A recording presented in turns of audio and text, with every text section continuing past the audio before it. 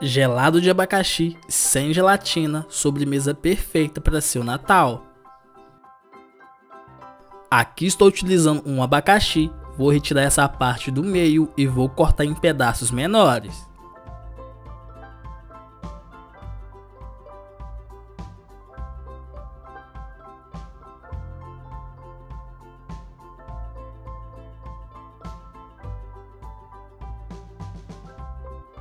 Feito isso, é só a gente agora pegar e vamos passar tudo para uma panela.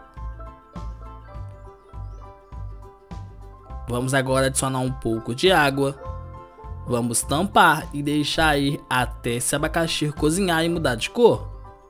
Enquanto isso, em um recipiente menor adicione 4 colheres de sopa de amido de milho, 100 ml de água e vamos misturar tudo isso muito bem.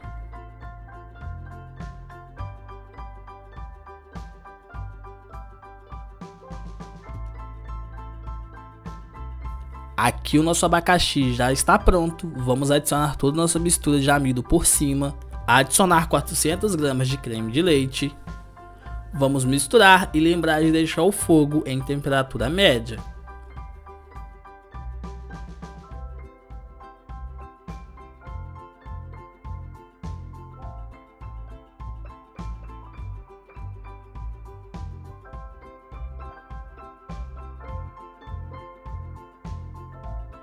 E agora adicionar 335 gramas de leite condensado.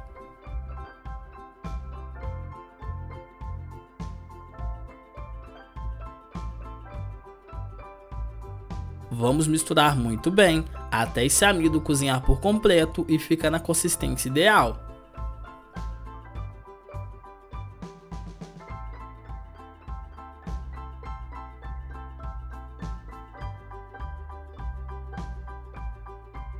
E aqui pessoal, esse já é o ponto. Agora é só a gente retirar e vamos passar para uma travessa.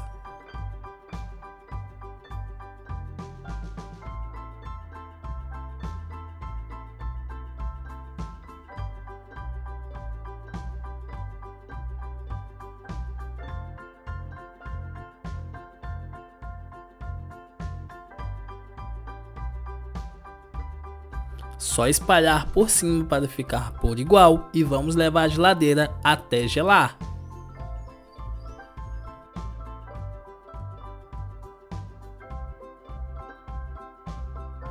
E olha só pessoal, como essa sobremesa fica incrível. Faça na casa de vocês, que eu tenho certeza que todos vão amar. Um gelado de abacaxi que fica perfeito na sua ceia de Natal.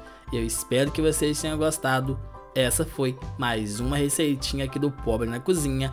Aquele forte abraço, até a próxima e valeu!